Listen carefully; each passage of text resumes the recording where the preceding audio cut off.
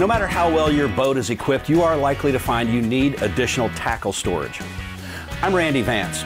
Boat Outfitters has a number of tackle storage solutions, one of which would be ideal for your boat. This cabinet here we think is ideal for a center console in the mid 20s up into the mid 40s. It's got two tackle drawers, a spot for three tackle boxes, and knife holders in the door. It's also sealed around the edges to keep moisture out.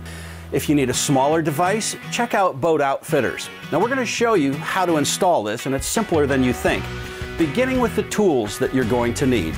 Now the tool list is simple, and if you don't have them, find a buddy that doesn't have a boat and take him fishing.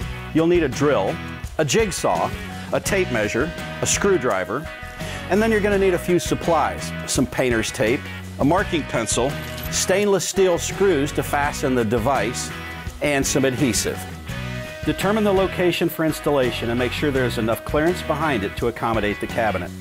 Measure the height and width of the cutout needed and trace it on the mounting location. Make the cutout parallel to the sole. Tape off the surface outside the index line to protect the fiberglass. Drill pilot holes inside the corners large enough for the jigsaw blade. Cut out the opening from corner to corner with the jigsaw and peel off the tape. Run a bead of marine adhesive sealant or butyl rubber tape around the inside of the flange to seal it. Place the storage unit inside the hole. Drill pilot holes for stainless steel screws and coat them with adhesive before installing. I think half the fun of boating are some of the projects that you encounter. Boat Outfitters has lots of options for those projects, and I love this storage option right here. I'm Randy Vance.